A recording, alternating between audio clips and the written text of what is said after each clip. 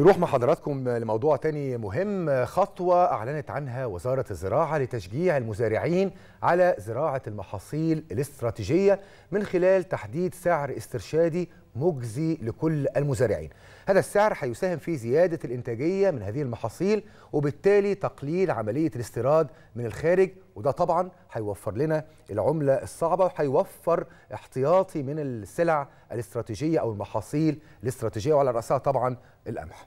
دكتور محمد القرش معاون وزير الزراعة صباح الخير. وإيه التفاصيل الخاصة بالأسعار الاسترشادية للمحاصيل الاستراتيجية؟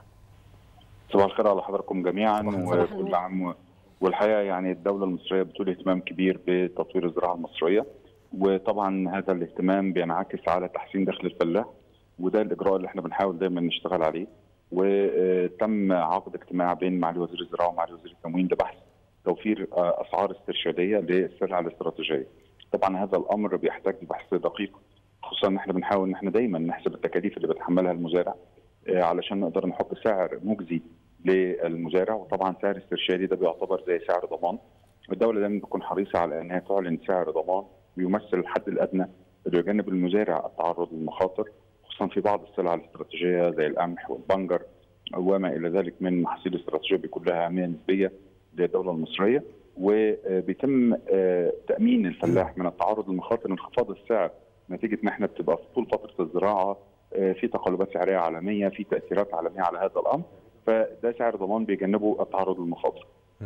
لكن لو حصلت زيادة في الأسعار وده شفناه في الأعوام السابقة دايما بيكون في اتجاه لإلزام أو الحكومة بتقوم بالشراء من المزارع بالسعر الأعلى وليس بالسعر الأقل ولكن في حال الانخفاض بتكون الدولة ملزمة بالشراء بالسعر الاسترشادي اللي تم وضعه طب. وده بيمثل مكسب كبير للفلاح والمزارع. طب دكتور إيه هي الآلية أو المعايير اللي بيتم الاستناد عليها عشان نحدد هذا السعر الاسترشادي المجزي للمزارع والفلاح؟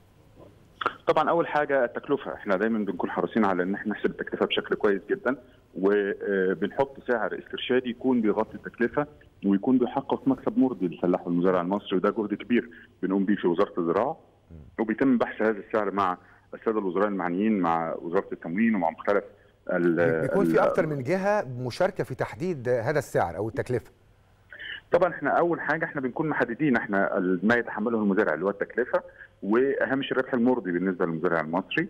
وبيتم مناقشة هذا الأمر آه طبعا في بعض الأحيان بيتم يعني وضع حافز إضافي أيضا للفلاح والمزارع عشان نخدم الفلاح والمزارع ويكون في سعر مجزي وسعر عادل لخدمة الفلاح والمزارع وده يمكن شفناه في أعوام سابقة يعني مثلا الموسم الماضي كان تم تسعير القمح قبل بداية الزراعة ب 1600 جنيه ولكن عملية التوريد صح. تمت ب 2000 جنيه للارداب 23 ونص نقاوة.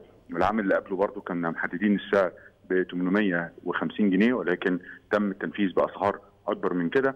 فالحقيقة كل ده بيثبت قد إيه الدولة بتكون حريصة دايما على ان هي تدي أو توفر السعر الأنسب لتحسين دخل الفلاح ولخدمة الفلاح والمزارع المصري بشكل أكبر علشان نشجعه إنه يزرع هذه المحاصيل الاستراتيجية ولما لها من أهمية وده بنشوفه بينعكس بشكل مباشر في حجم الزراعات وفي حجم التوريد بالنسبة للدولة طيب المصرية. دكتور محمد السعر ده هيكون معلن من سابق؟ يعني في نوع من المعلومات الواضحة للفلاح وبالتالي هيقبل على زراعة مثل هذه السلع؟ يعني حضرتك قلت القمح والبنجر إيه تاني داخل في السلع الاستراتيجية؟ يعني الحقيقة إحنا شفنا الأعوام السابقة كان بيتم تحديد السعر قبل موسم الزراعة بفترة كافية لهذه المحاصيل. يعني بنلاقي القمح بيتم التحديد البنجر بيتم التحديد قبلها القطن كمان بيتم التحديد قبلها القصب السكر بيتم التحديد قبلها. العديد من المحاصيل الحقيقة بيتم دايما وضع سعر استرشادي ليها وده بنشوفه يعني شفناه متطبق في عدد كبير من المحاصيل. آه كمان إحنا باقي المحاصيل إحنا بنعمل على تطوير منظومة زراعة تعاقديه ليها كمان الذرة والصويا وعباد الشمس كل دي محاصيل إحنا دايما بنكون محددين لها السعر قبل البداية قبل بداية الزراعة أو تجهيز للزراعة وكمان في نفس الوقت ده بيعتبر ضمن منظومة الزراعة التعاقديه اللي هدفها إن أنا أضمن للفلاح تسويق منتجه من قبل ما يزرعه.